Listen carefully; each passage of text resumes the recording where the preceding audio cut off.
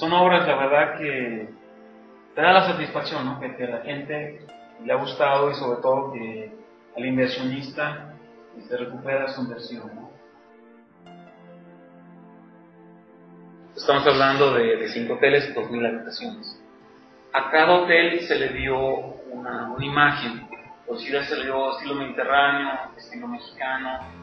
Al siguiente estilo se le llamó tipo arquitectura de, del Pacífico de, de, tipo Careyes. Al, al, al 4, el hotel 4 se le llamó tipo Maya. Y al 5 lo hicieron algo clásico.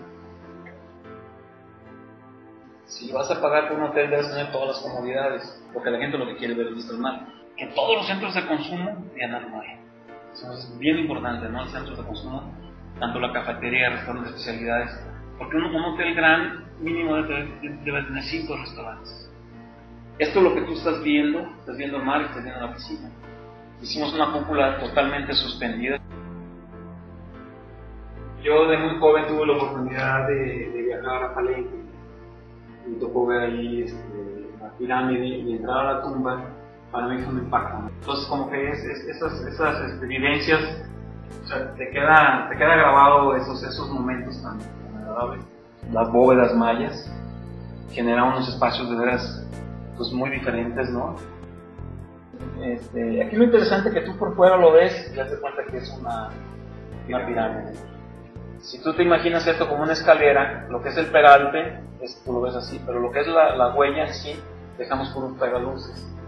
Entonces por dentro en, la, en, el día ves entrar luz, unas jardineras, se ve muy agradable. Eh, después de, de, Plaza de las Glorias nos tocó hacer Princesa de Peñasco, que fueron 200 condominios. Después este, eh, nos tocó hacer Los Sonora, que son alrededor de 600 condominios 200 en 200. Después nos tocó Esmeralda, nos, han hecho, nos ha tocado muchos condominios que se han vendido, eh, un edificio de esos lo vendieron un, sábado, de, de tan efervescente, y la, la, forma también de los vendedores, el producto y todo, vendieron 100 condominios en, en una tarde.